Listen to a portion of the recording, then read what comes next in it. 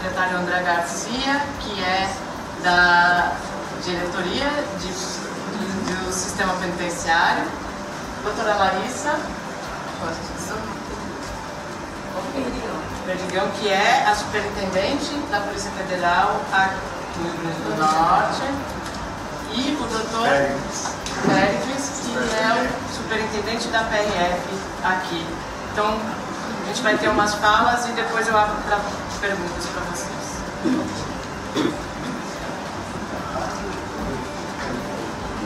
Bem, mais uma vez, bom dia a todos e a todas. É um prazer poder conversar com a imprensa local e também de fora.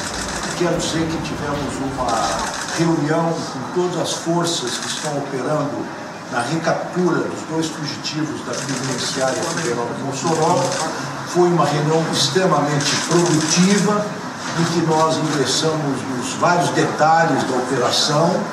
A operação, a meu juízo, a juízo do ministro da Justiça e da Segurança Pública, é uma operação que está se desenvolvendo até o momento com êxito. Nós temos indícios fortes da presença dos dois fugitivos na região, nesse perímetro que se concentra ou circula a Penitenciária Federal de Mossoró e Paraúna.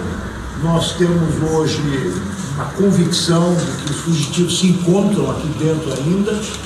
Tivemos é, é, um indício muito forte representado pela visualização no dia 2 de março, eles foram avistados, com certeza. Essa visualização foi confirmada pelas forças de segurança e pelos moradores locais.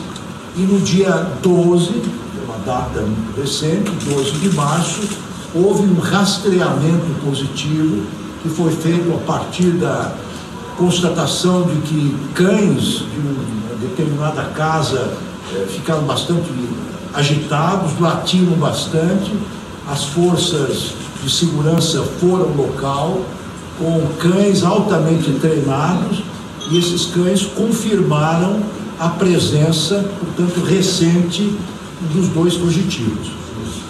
Isso significa, diante destas informações que nós recebemos, que nós vamos manter a operação da forma como, é, como ela está sendo levada. É, há uma integração muito positiva e diria até inusitada de forças distintas, a Polícia Federal, a Polícia Rodoviária Federal, a Polícia Penal Federal, a Polícia Militar, a Polícia Civil de vários estados, Rio Grande do Norte, Ceará, Pernambuco e Paraíba eh, estão trabalhando com suas forças especiais. Nós temos a inteligência da Polícia Federal trabalhando intensamente a inteligência de outras forças. Nós estamos trabalhando em duas linhas desde o começo: uma linha investigativa, uma linha que envolve, enfim, sobretudo, ações de inteligência a partir desta linha investigativa, nós já eh, efetuamos sete prisões de pessoas eh, que são suspeitas de colaborarem com os fugitivos. Apreendemos dois veículos, temos eh, algumas outras ações previstas eh, e com autorizações judiciais já eh, que nós não podemos ainda revelar em detalhes, que estão sendo desenvolvidas, de maneira que nós estamos, digamos assim, otimistas no sentido de que os fugitivos se encontram ainda no local, não conseguiram se evadir para outros estados e por isso é que essa mobilização continua e continuará ainda por um certo tempo. Nós temos aproximadamente 500 pessoas envolvidas na busca dos fugitivos E aí eu quero reportar a segunda vertente da nossa ação, a primeira ação investigativa, que é feita fundamentalmente pela Polícia Federal, e a outra é persecutória, em campo, que é muito intensa e está sendo levada a cabo com muita energia, eu diria, enfim, com até entusiasmo por parte das forças envolvidas. Então, essas duas vertentes estão sendo mantidas e serão mantidas, e esta equipe de cerca de 500 pessoas que envolvem as diferentes forças às quais eu me reportei e que se revezam trabalhando de noite e de dia e que fazem reuniões permanentes pela manhã e à tarde para avaliação dos resultados e para o planejamento das operações, será mantida e, sobretudo, será mantida essa mobilização em razão da proteção da população local. Porque, afinal de contas, nós temos dois eh, fugitivos, dois criminosos de alta periculosidade e é justo, é correto que nós, além dos esforços da recaptura, nós envidemos todos os esforços da nossa energia para a proteção da população local. Isso está sendo feito, é, a meu ver, de forma também bastante eficiente. A polícia, as diferentes forças estão muito presente e está dando essa segurança para a população local, até para que ela nos informe é, do paradeiro desses dois fugitivos. Então, era esta a mensagem que eu tinha a transmitir é, para as senhoras e os senhores. Esta é a razão pela qual eu me desloquei de Brasília até aqui, para avaliar pessoalmente, enfim, a situação, em loco, como é que estão as operações eu sairei daqui, vou sobrevoar também com helicóptero a região para também fazer uma avaliação do alto e, e avaliar esse perímetro onde estão sendo feitas as buscas. E isso é que nós tínhamos eh, que comunicar, então, à população que será informada através desta eficiente e profissional imprensa.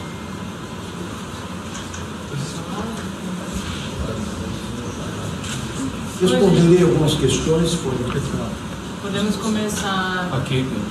Bruno, se apresenta, por favor, e fala o veículo. Ministro, eu sou da TV Globo, nós estamos aqui pela Globo News. É, bom dia para o senhor. Muitas perguntas o senhor já respondeu aqui, mas eu estava aqui também quando o senhor veio no dia 18 e a gente também soube de alguns policiais que eles não teriam uma grande participação no Comando Vermelho, esses dois homens que escaparam. Sim. É, qual está sendo talvez a principal dificuldade. É de esconderijo na casa desses agricultores, é uma proteção para esses agricultores, porque por muitas vezes nós estamos lá direto, mais de 10 horas a gente fica lá em sítios de Baraúna, e a gente vê que vocês fazem o cerco, mas de fato não há esse êxito na recaptura desses homens. É, realmente, é, ao que consta, eles são uma dissidência do Comando Vermelho, né? Porque nós sabemos que essas facções todas têm dissidências internas, mas, não obstante esse fato, uma convicção que as forças de segurança e os investigadores têm é que eles estão recebendo, sim, apoio externo. E essa é uma das razões pelas quais eles têm, é, digamos assim, escapado desse cerco que tem sido feito. Então, é, é, mais do que uma intimidação, é possível que alguns moradores tenham sido intimidados, algumas casas invadidas, os moradores ameaçados, mas a, a, a, as notícias que temos agora, as informações a partir do trabalho investigativo e que resultou nas sete prisões, exatamente esta, que estão sim recebendo ajuda de fora, ajuda externa. Isso é que é, é, explica o relativo êxito que eles têm é, na, ao escapar é, deste cerco. Eles estão sendo, eles estão sendo, digamos assim, apoiados com roupas, com alimentos e agora, especialmente, estão numa região onde existem muitos pomares, muitas plantações de frutas, sobretudo bananeiras, é, que facilita a alimentação dessas pessoas. Estão se aproximando de uma área, já estavam, mas estão numa área, uma mata muito densa, é, onde existe facilidade para que eles se escondam, cheio de grutas, perto de um parque, de uma reserva né, florestal, enfim, é, são as dificuldades é, naturais, é, digamos assim, da persecução que está se fazendo contra esses dois fugitivos, é, não só pelas características é, da, da, da, da, flora da região, né, tem uma parte de caatinga também, onde as próprias forças de segurança têm dificuldade para ingressar e capturar, mas também pela extensão da área e pela facilidade que eles têm hoje de é, encontrarem alimentos. Ministro, eu sou Roberta Trindade, TV Tropical Record. Bom, eu queria que o senhor falasse para a gente qual é o resultado prático da Força Tarefa nessa missão de prender os foragidos, já que amanhã a gente completa 30 dias e ainda não houve essa prisão tão esperada, não só pela imprensa, mas pelo todo o Brasil, né, por todo o Brasil, e por essa população que sofre com medo desses fugitivos em Garaú. Uma boa pergunta. Eu vou lhe dizer, o resultado prático, a meu ver, e que é muito positivo, é o fato de que eles não conseguiram escapar deste perímetro, que eles estão cercados até o momento estão cercados. Porque se não fosse a eficiência das forças de segurança, já teriam se evadido, estariam em outro estado e talvez a muitas centenas ou milhares de quilômetros do local. Então, a convicção que nós temos até o momento, é, por isso é que fizemos essa reunião, e essa é a razão pela qual vamos manter essa mobilização, exatamente este fato que eu considero positivo. Embora não tenham sido recapturados, ele se mantém nesse perímetro, vamos assim dizer, original. É claro que é um perímetro bastante amplo, com vários quilômetros. Inclusive, tive a informação agora de que eles não se movimentaram num espaço tão dilargado somente a pé. Eles foram transportados por veículos também, revelando que tiveram apoio externo e essa é a razão pela qual também dois veículos foram apreendidos pela polícia.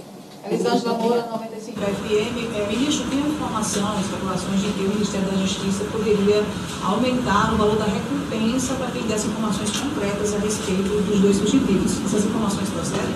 Não, nós não estamos cogitando disso até o momento. Quer dizer, existe um telefone onde a, a população pode é, anonimamente trazer algum informe que possa colaborar para a localização desses dois fugitivos, mas lembrando sempre que a somatória desses dois valores é um, é um, é, representa um numerário bastante elevado, enfim, para os padrões de renda nacional. Ministro Amanda Mello, para interferir, de novo. É, vocês fizeram alguma avaliação sobre o valor que foi gasto até agora com essa operação, toda essa parada né, das forças que estão trabalhando aqui?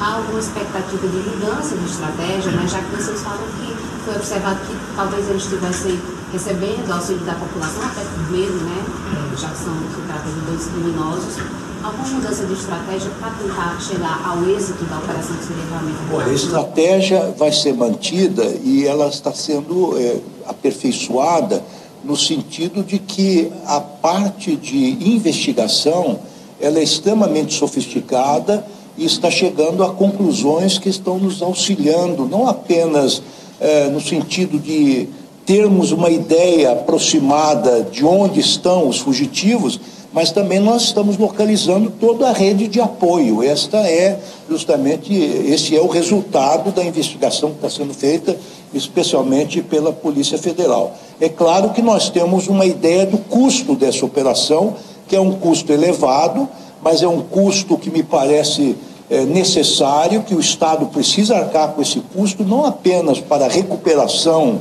a recaptura de dois fugitivos perigosos que pertencem a, a, a organizações, é, enfim, criminosas, ao crime organizado, mas também, insisto nesse aspecto, porque nós não podemos deixar a população local desamparada. Então, isso justifica o número de eh, agentes de segurança que estão presentes aqui.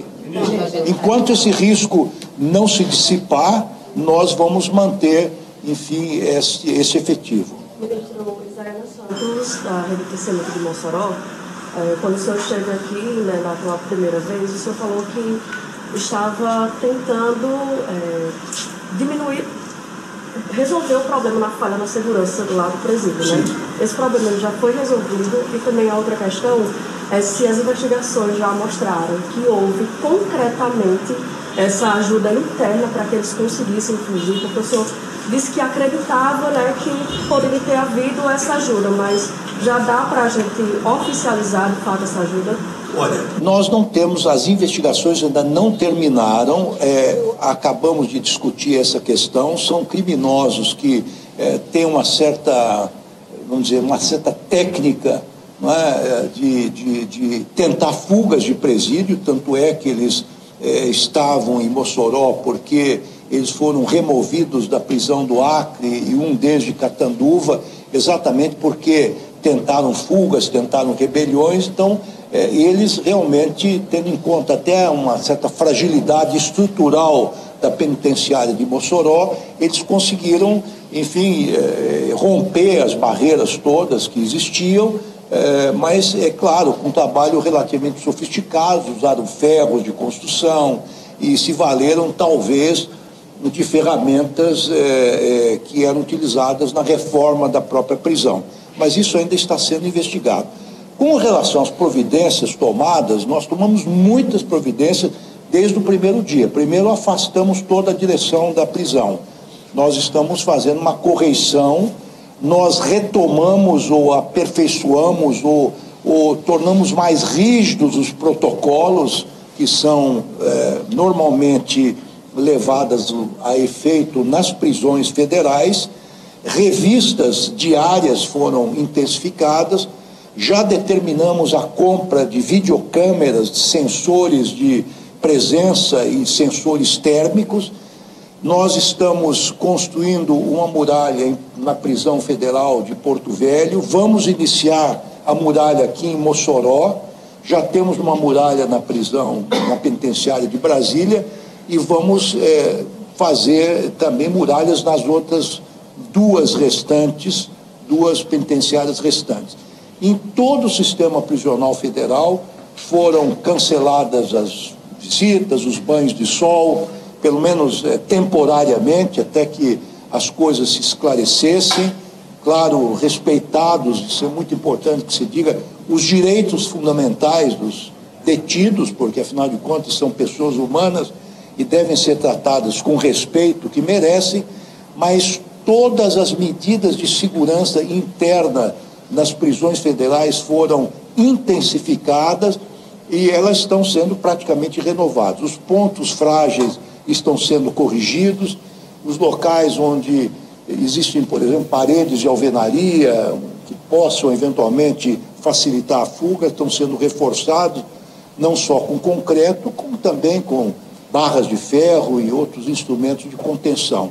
Nós estamos aumentando o contingente também das, eh, dos policiais penais federais. Fizemos um concurso recente em que cerca de 64, 65 eh, novos agentes estão sendo recrutados, incorporados ao serviço público. Grande parte deles está vindo aqui para Mossoró.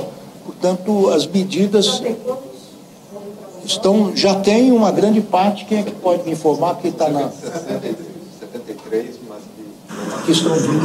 E outra coisa muito importante, vocês noticiaram, nós fizemos um rodízio dos presos, né? 24 presos foram transferidos para outras prisões federais, não apenas em razão do acontecimento né, infeliz, infausto que nós vivemos, da fuga desses dois presos, mas também porque isso é rotina mesmo, né? Então nós rotineiramente fazemos rodízio dos presos para que eles não possam organizar uma eventual fuga. Ministro, Ayrton Freire da Rede também do é, quando na vinda da Força Nacional, a gente está contando com a Força Nacional 600 agentes, hoje são 500. Não sei se houve uma redução, confirmar isso? Não, nós mandamos cerca de 100 agentes da, da Força Nacional aqui com veículos. Já, já deixando é, exatamente. E a, pergunta efetiva, hoje nós tivemos uma intensa movimentação em Baraúna. Eu queria saber se tem a ver também com essa força-tarefa e no que resultou essa operação. Eu vou passar a pergunta, talvez, aqui para alguém, dos, do, algum dos presentes, mas o que eu quero dizer é que, além das forças, da, dessa força, digamos assim, representada pelos agentes né, de segurança, nós temos equipamentos aqui eh, trabalhando, enfim, eh, aplicados nessa busca. Temos três helicópteros, temos drones, sensores térmicos.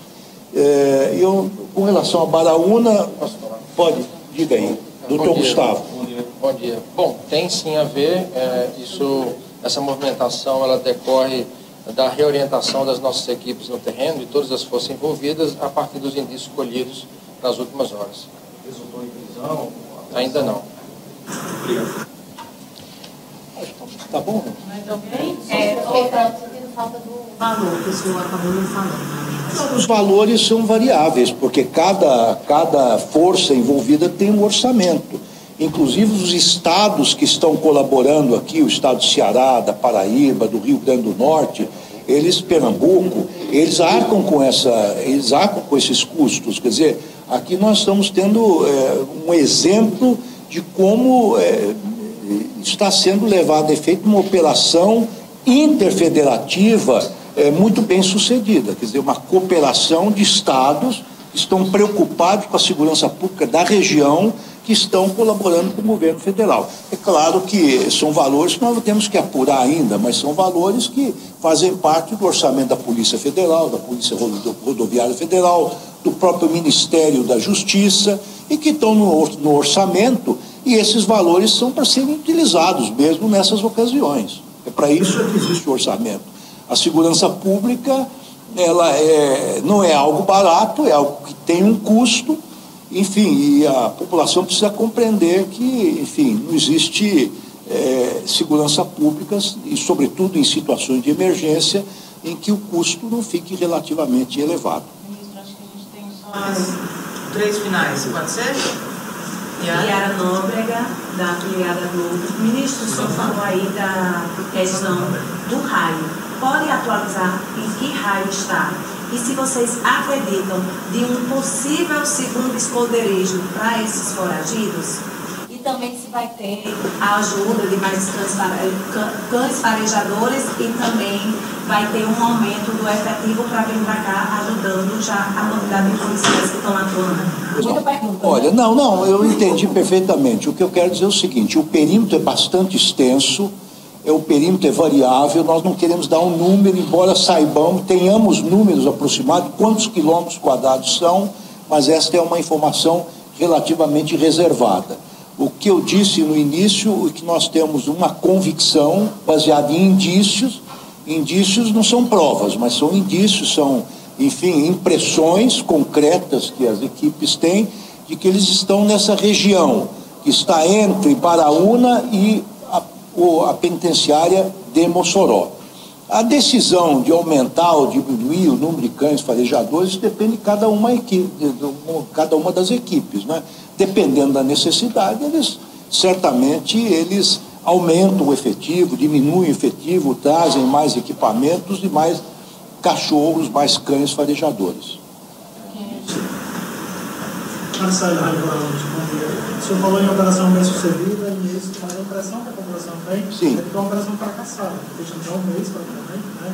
E eles fugiram e eles não foram recapturados. Que resposta o senhor daria à população? Bom, o que eu quero dizer é o seguinte: eh, os exemplos que nós temos nacionais e internacionais, eh, semelhantes a esses, em que um- algum detento escapa de uma penitenciária, dificilmente a recaptura se dá em menos de um mês, ou às vezes até mais. Eh, portanto, é um prazo que nós estamos considerando razoável, inclusive tendo em conta os indícios concretos de que eles se encontram ainda dentro desse perímetro. E o que eu quero dizer é que a operação foi bem sucedida no sentido de que nós conseguimos mantê-los dentro desse perímetro. Seria mal sucedida, ou enfim, seria um fracasso relativo, diria eu, se eles se evadissem e fossem para outro estado. Então, as forças de segurança eh, tiveram a competência de mantê-los encurralados nessa região. Bom dia, ministro. Atual Telecap, é, com quase um mês completado da fuga, as forças de segurança ainda trabalham com a possibilidade dos dois fugitivos ainda estarem dando juntos? Não, essa, nós não temos essa certeza, mas é, é, o que eu posso dizer, talvez alguém pode confirmar isso, que a visualização que foi feita no dia é, 3, não é? foi exatamente no sentido de que dois indivíduos com as características dos fugitivos foram avistados. Portanto, a última visualização que nós tivemos dos fugitivos é que eles estavam em dupla. A gente tem conversado com alguns investigadores, disse que assim, o senhor mesmo falou da outra vez que isso seria uma mudança, um marco, um novo marco no Brasil Sim. da integração das polícias. E de Certo. fato a gente está vendo isso aqui. É, sobre essa investigação, é, existe também um bom êxito quando vocês conseguem identificar é, pessoas do Comando Vermelho é, por meio de interceptações que participam dessa estrutura, talvez de resgate, ou essa comunicação que há entre essas pessoas, entre esses presos, e até a comunicação dentro de alguns presídios. Olha, eu, você tocou num assunto que me parece da mais alta importância. Um dos bônus, um dos dividendos dessa operação foi justamente identificar elementos dessa organização criminosa que está colaborando. Alguns, inclusive, em outros estados, como a doutora Clarice, inclusive, me informou. Quer dizer, isto é fruto da colaboração não só de agentes da Polícia Federal de outros estados, mas também das forças de segurança. Isso está indicando de que existe uma integração das forças de segurança nos distintos níveis, no nível federal, estadual, inclusive fui informado, e essa é uma informação positiva, que a própria Guarda Municipal está participando das operações. Então, é uma integração inédita, desejável num Estado federal como o nosso. O futuro da segurança pública no Brasil, e esse é um esforço que o Ministério da Justiça vai fazer, é no sentido de uma crescente integração das forças de segurança que trabalham nos três níveis político-administrativo da Federação, União, Estados e municípios, sobretudo na troca de dados de inteligência. Obrigado. Obrigado.